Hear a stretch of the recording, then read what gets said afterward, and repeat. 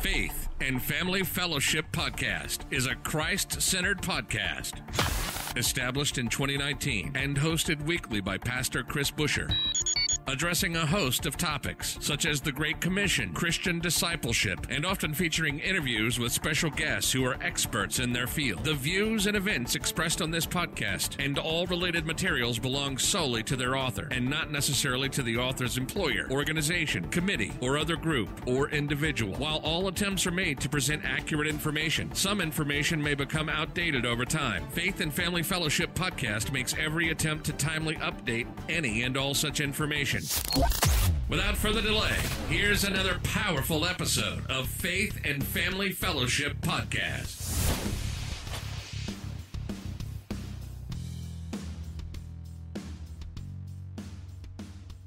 Hey guys, welcome back to another episode of Faith and Family Fellowship Podcast. Once again, I'm your co host, Dallas Monticue. Today in the studio, we have another amazing guest, and he is the host of a podcast called the Prodigal Believer Podcast. This podcast is centered on Christianity and philosophy, and it is available on all streaming platforms, including Apple Music and Spotify.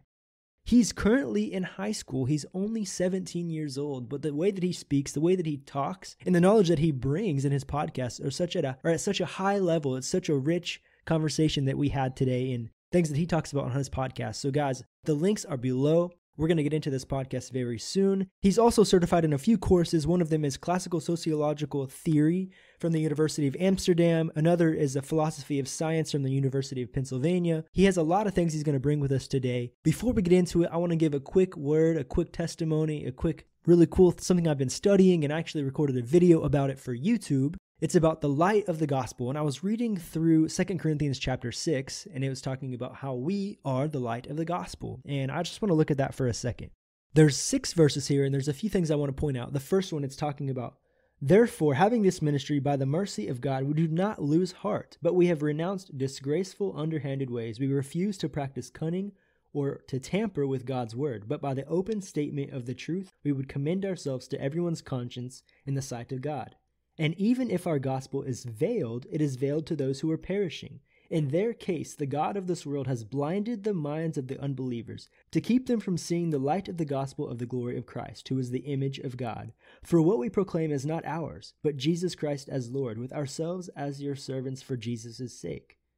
For God, who said, Let light shine out of darkness, has shone in our hearts to give the light of the knowledge of the glory of God in the face of Jesus Christ.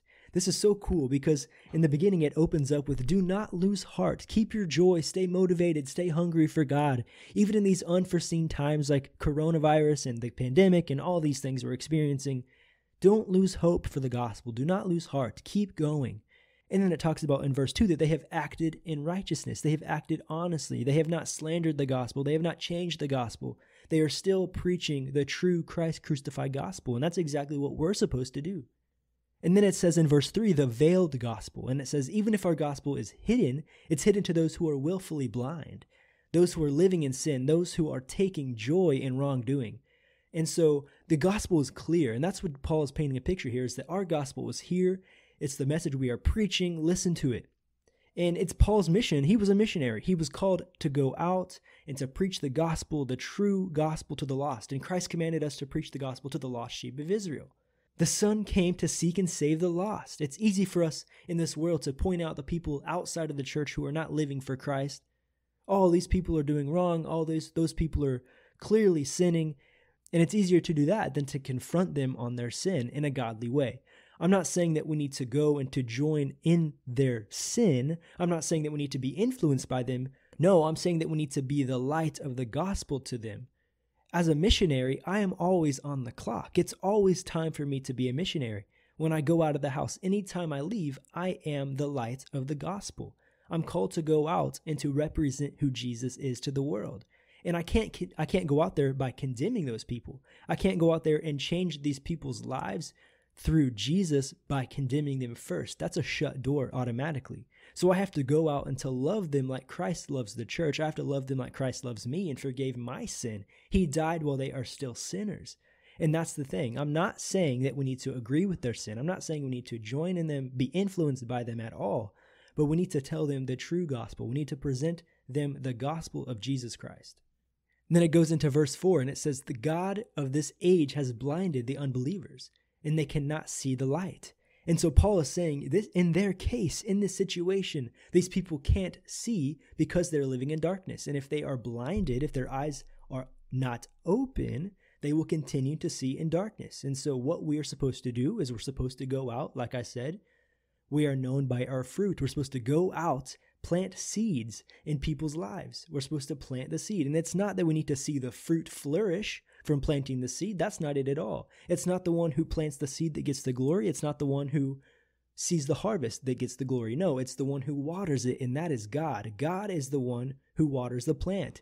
We are just the vessel. And that's exactly what my mission is to do as a missionary here in Brazil. And of course, you guys, wherever you are located as well. And so it's we are called to go out. We are called to go out and to tell the people who are living in darkness that it's sin, that it's not right.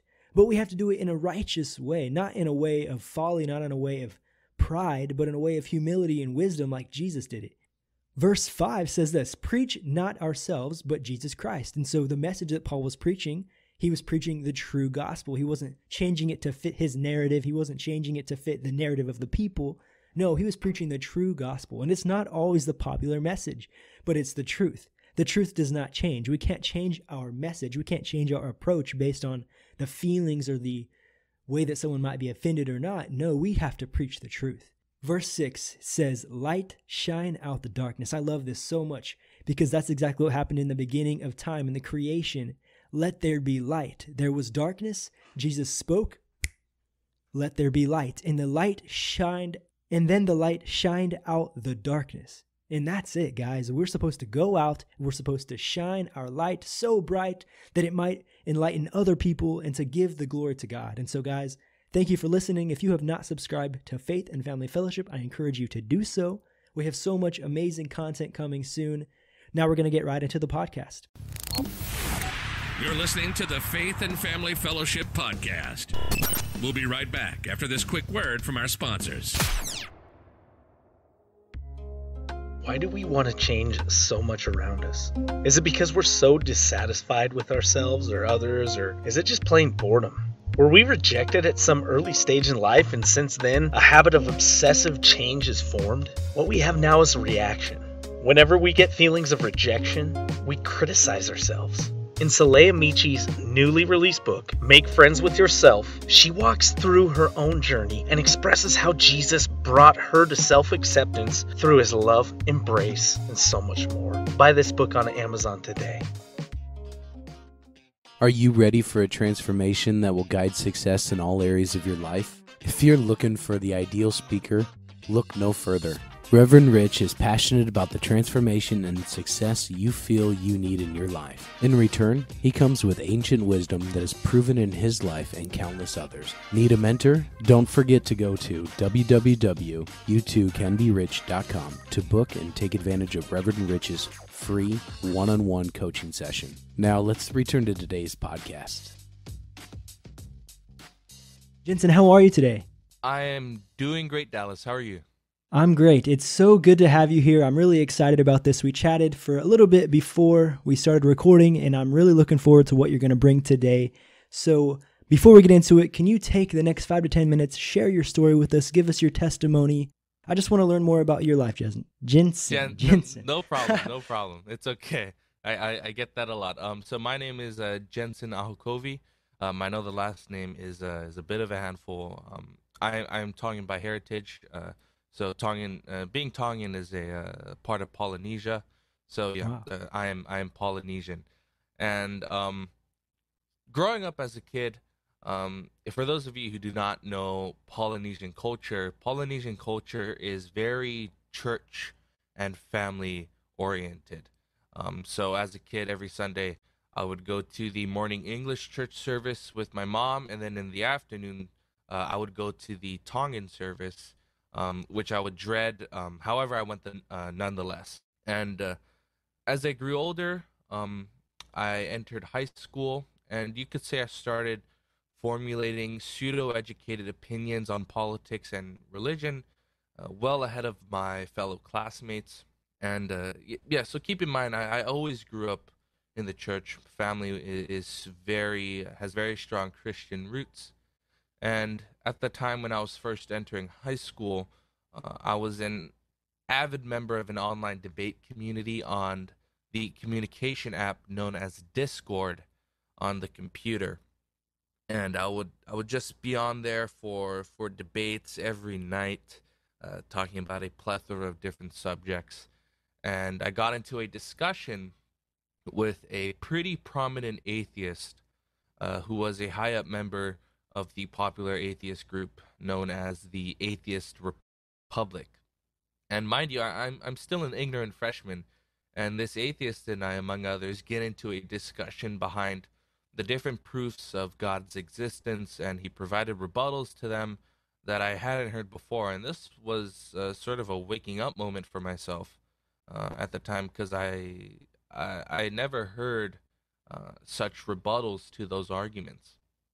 And from that moment forward, uh, it was it, it, it was a, it was a turnkey moment uh, because I knew at that time I was very ignorant. I did not have any strong rebuttals to his rebuttals simply because of my lack of research, and I was I was definitely shaken up.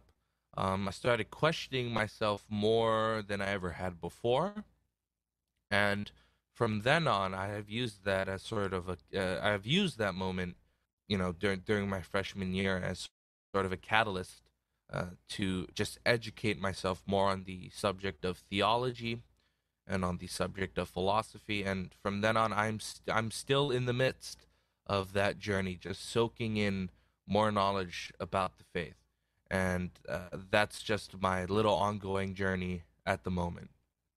And so, Jensen, how old are you? I'm 17 years old. I'm, I'm just about to be a, a senior in high school. I yeah. can't believe it. I can't believe it. The way that you're talking, just you're speaking at a higher level. You seem very educated and you seem like you know a little bit about what you're talking about. So I'm really excited. Like I said, again, the fifth time about what you're going to share today in your podcast, the Prodigal Believer podcast. Likewise. Thanks. Thanks for having me on. And so you're still in high school today. I mean, in the summer right now, but you're still in high school. Right. Wow. And so you have a passion for theology, for sociology, all these different types of things. What kind of grabbed your interest? What else made you want to study into those things? Because that's not a normal thing at your age, I would say, right?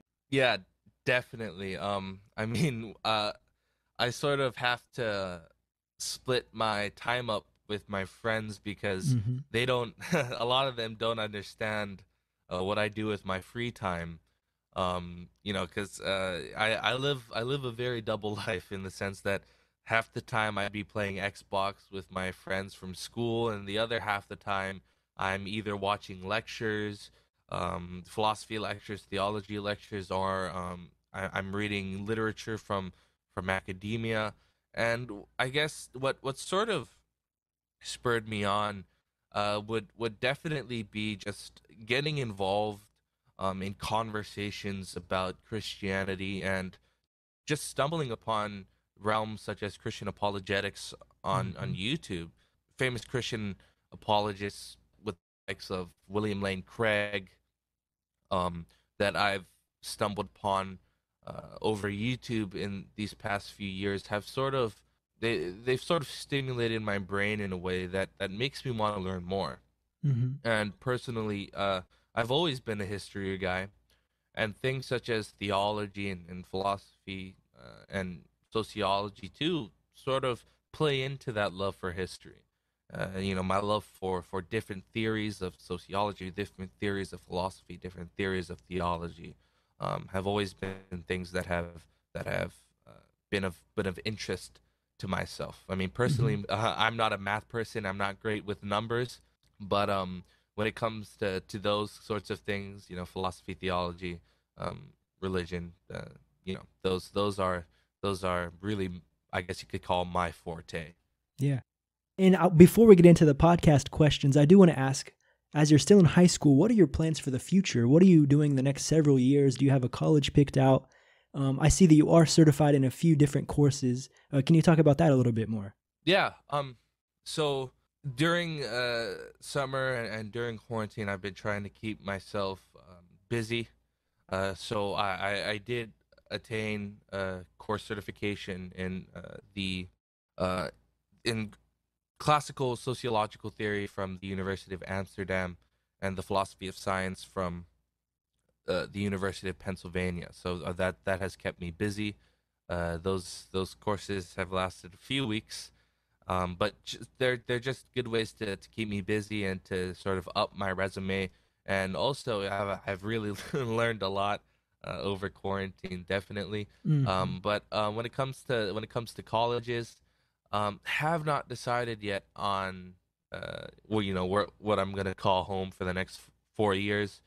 Um, but I, am definitely praying on that and hoping I can uh, mm-hmm. get get to the right school and and we'll yeah. be able to to even attend because the, this whole COVID nineteen pandemic affecting makes everything. it difficult. Yeah, yeah, make, makes it just difficult to sort of attain that aspect of on campus college life, which you know is is definitely a huge uh, a huge factor when it comes to deciding where you want to spend the next four years. Yeah. And do you have an idea of what you want to do as well? Do you want to continue in this passion of theology and sociology, or something else? Yeah. Um. Yeah. So I I've been sh- I've I've been struggling in the sense of of uh, trying to decide whether I want to remain within the realms of academia, or whether I want to um work in things such as media, like for example, you know, get this podcast going, or you know, go to college, get my credentials, then work in media, be involved mm-hmm. in the in the larger community when it comes to intellectual debates uh, or things like that. Or maybe I was uh, I've been considering maybe just mixing the two, but you know, of course, uh, those things are are well down the line. Yeah, yeah. Um, and uh, you know, it's it's just my hopes and wishes, but uh, we'll we'll see where where God and, and the road takes me. Mm-hmm. Yeah, well, thank you so much for sharing all of that, your testimony, a little bit of background about you. I feel like I know you a little bit better now, and we can communicate a little easier. So yeah, definitely. This podcast, the Prodigal Believer podcast, when did you launch this podcast? Maybe a little bit more information about that as well. Yeah, so I I launched it in March of this year, and I I sort of launched it as a way to, well, for for lack of a lack of a of a better term, I sort of I, I launched it as a way to vent initially, um, only because I I would go through um, a series of debates online, and I I wouldn't be satisfied with my performance. And I, I had to think of a way that I could clarify my opinions in a setting that allowed me to control for for every variable and the podcast was a way that i could see myself being able to to put forth my arguments rationally and eventually that initial emotion of just wanting to use it as a form of ventilation i i eventually recognized the potential behind having such a podcast. And from then on the podcast has has been inspired largely in part by you know other uh, other Christians out there who have a strong presence on social media who who like to defend the faith and who want to understand more about the field of apologetics or theology and philosophy and yeah and and I guess the the main the main vision of the podcast now is is mainly to to inspire the Christians out there to learn more about their faith or just maybe you know uh, if I could just provide a bit of information that they hadn't known before, right, I, would consider that a, a, job well done. Um, yeah. It's it's really just equipping uh, other Christians out there with the, the tools necessary to understand their faith a bit better, or perhaps even to defend it when necessary. Hmm. Incredible. Maybe on a more simple level, I want to ask this question too. How do your friends respond to you having a podcast at 17 talking about this high level of information? Oh my. Um. well, the, to be honest, uh, not a lot of them know I. it's yeah. I, I guess it is still pretty fresh, and you still haven't yeah. been back to school physically yet. So maybe that's right. That too. Yeah. Um. But yeah. So so not a lot of them. Not a lot of them know I I run this uh, podcast. Uh, maybe only a handful of uh of my friends know this, but um, in general they've they've they they've liked the the podcast for the most part. Um, but keep in mind uh, the the friends who do know about the podcast are are my more uh, atheist friends. Wow. So uh, when when episodes are published, we tend to have a discussion about those episodes, and um, yeah. But uh, I'm glad to to have them listening, and I'm I'm I'm glad to um to be able to spark discussion with them, even though we have differing opinions. All right. And how do you think this podcast may be different than other podcasts that are similar to this?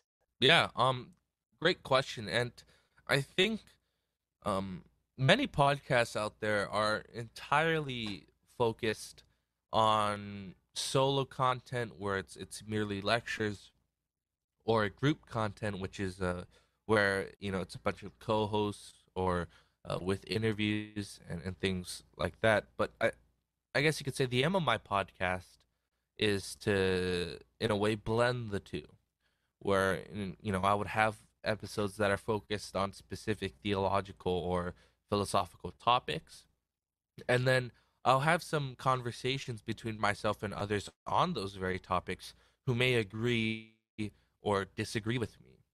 And also I I you know definitely the the biggest difference is that I'm I'm just a high schooler. So one mm-hmm. could say I, I I might bring a youthful perspective of theology or philosophy on my podcast as as most of of the podcasts today in those uh, specific uh, realms of thought tend to be uh, people who are much older than I am. So yeah, that's great. A few more questions about your podcast itself. How many episodes have you released so far?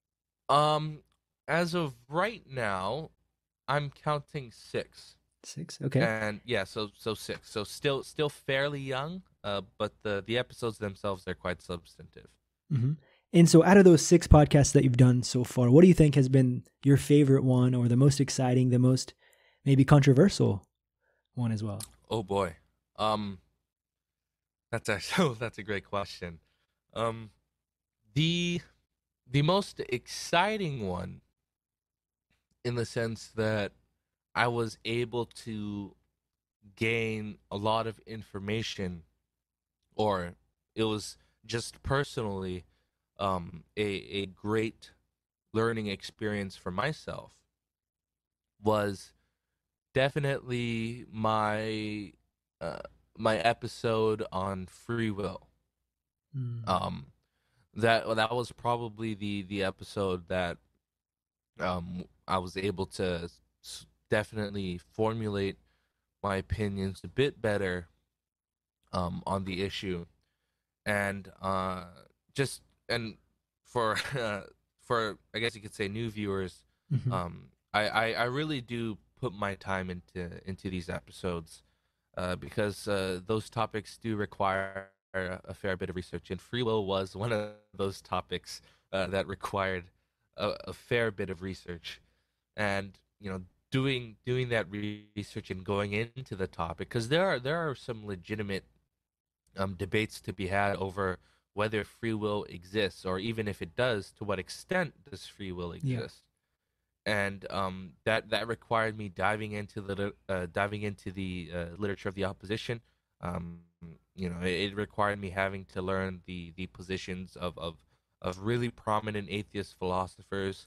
Um, you know, uh, atheist philosophers of of the likes of uh, Sam Harris, or Richard Dawkins, or Lawrence Krauss.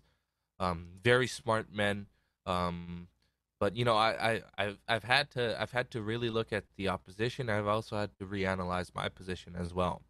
And so, in that aspect, that has definitely been my, my most exciting episode. I think my most controversial one would, uh, it, it, it would definitely be my most recent one. And, um, uh, in my view, it's not that controversial, but out of the, uh, out of, out of the, out of my group of episodes, mm-hmm. that is, that is definitely probably the more controversial one, and that's what that's my recent one, in which I published a discussion uh, uh, with my, my uh, with the local pastor, and uh, we essentially talked about the problem of evil and suffering, and uh, for those who do not know the the problem of evil and suffering, it's really an age old philosophical debate in which uh, we basically ask uh, if an all good God exists, uh, exists, why is there so much evil in the world? and that was essentially the first aspect of our conversation, and and uh, we sort of had to reconcile um, that that existence of an all good God with evil. And the second half of our conversation dealt with the consistency uh, of homosexuality with uh, Christian teaching today, and um, that that that is definitely what makes the episode a bit controversial. The part about the free will, I'm really interested in that. I will go back and Mhm. listen to that. Definitely. I had a conversation a few weeks ago with a friend, pre uh, free will versus predestination, and that's kind of Okay. the, the sides there. Yeah. So that's really interesting. Yeah, and, gonna and, listen and the to it. free will dis- the, the free will discussion uh, isn't isn't limited to just atheists and Christians. Yeah, there's there's staunch debate within the Christian faith as well. You know, as you know, between Calvinists Mhm. and and those uh, and people who believe in free will are are called libertarians. So there's definitely ripe discussion to be had within Christianity itself as well. Very interesting stuff. Good topics. Very intriguing. So, guys, check out his podcast, the Prodigal Believer Podcast, available on all streaming platforms. We have a few more questions here for today's podcast, but I just want to give you guys the opportunity to tech to check him out. There's some links below to his podcast. Where are some other places that they can find you, Jensen? Do you have a YouTube page, a social media? Yeah, so I'm I'm I'm actually starting uh uh to sort of formulate together a, a YouTube channel that would be under um the same name. But you can you can visit my my, my podcast website at prodigalbelieverpodcast.com or uh you could uh, you could email me at prodigalbelieverpodcast at gmail.com if you have any suggestions uh, for any new episode ideas uh, any new conversation ideas, anybody uh, who you guys might think I should bring on for conversations. Um, and that's that's basically uh, where I'm at right now. Uh, definitely still a young podcast, so uh, hopefully in the future I'm able to establish myself further into the uh, Yeah. the the internet. Mm-hmm. Great. And my one of my last questions for you: What has been the most rewarding thing since starting this podcast that you're working on? Um, the the most rewarding thing uh, has definitely it's definitely got to be the learning experience. Um, as I mentioned earlier, a lot of these topics take uh, take a fair amount of my time when it comes to, to researching them and you know putting together a script and uh, the the whole uh, the, the whole nine yards. And um, with the with the amount of topics I've I've covered, um, my more recent topics being, yeah, for example, the problem of evil, that whole discussion, um, homosexuality and Christianity, uh, the idea if did Jesus even exist as a historical figure, topics such as those Mm-hmm.